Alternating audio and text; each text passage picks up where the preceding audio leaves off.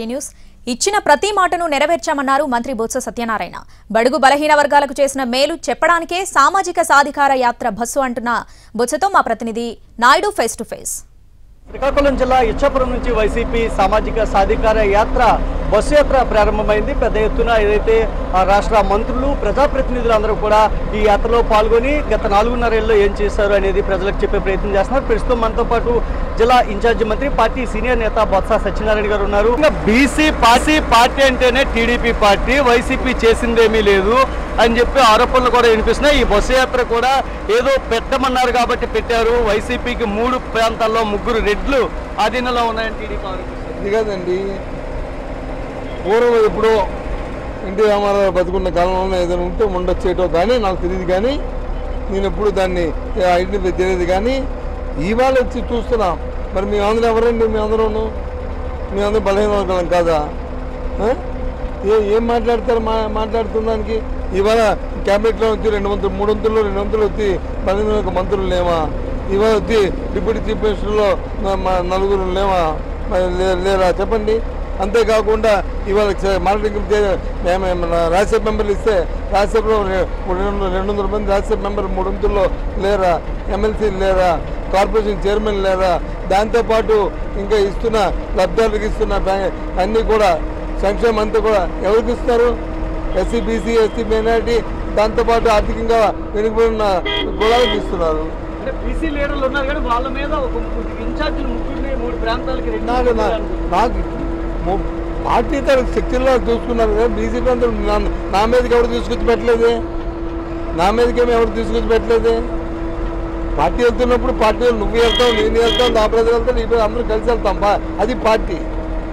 అంతేగాని నా నెత్తి మీద తీసుకొచ్చి కూర్చోబెట్టలేదు. నేను నేను ఎవరికి సభానేటి కాదే.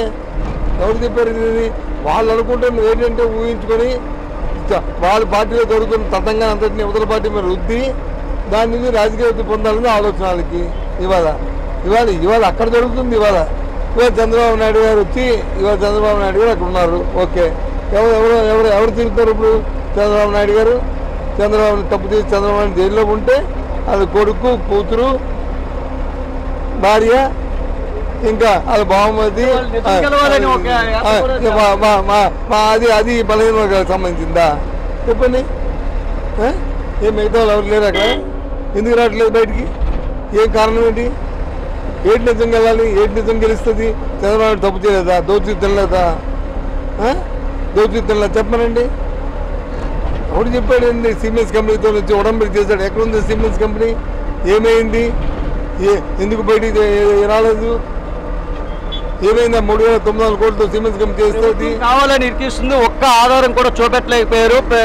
నిజం గెలుస్తుంది అదండి ఇది పెద్ద జోకు. ఇది పెద్ద జోకు. చూపెట్టకపోతే చంద్రబాబు నాయుడు ఎందుకు నలభై రూపాయలు జైల్లో ఉంటాడు. చంద్రబాబు నాయుడు అనే వ్యక్తి జిమ్మిక్కులు తెలిసిన వ్యక్తి వ్యవస్థను మేనేజ్ చేయడంలో దిట్టైన వ్యక్తి సీఈఓ అని అనుకుపించుకున్న వ్యక్తి ఎందుకు జైల్లో ఉన్నాడు నలభై రోజులు? తప్పు చేయకపోతే ఏ ఆధారం లేకపోతే దేనికోసం ఉన్నాడు?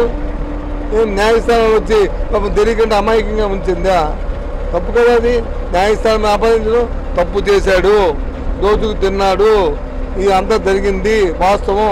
కాబట్టే ఇవాళ వచ్చి జైల్లో ఉన్న కారణం.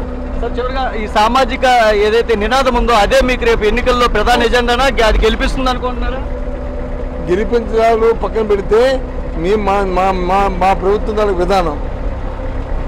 మా ప్రభుత్వం తాలూకు విధానం. సామాజిక న్యాయం. బలహీన వర్గాలకు అభ్యున్నతి.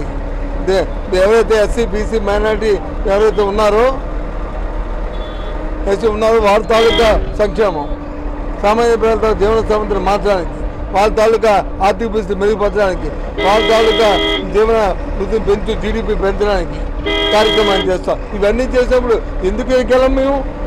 ఎందుకు రేపు ఎన్నికల్లో విజయం సాధించాం? నూటు నూరు శాతం మళ్ళీ జగన్మోహన్ రెడ్డి మరి అధికారంలోకి వస్తారు. అందులో ఏ విధమైన సందేహం లేదు. నూటు జరుగుతుంది.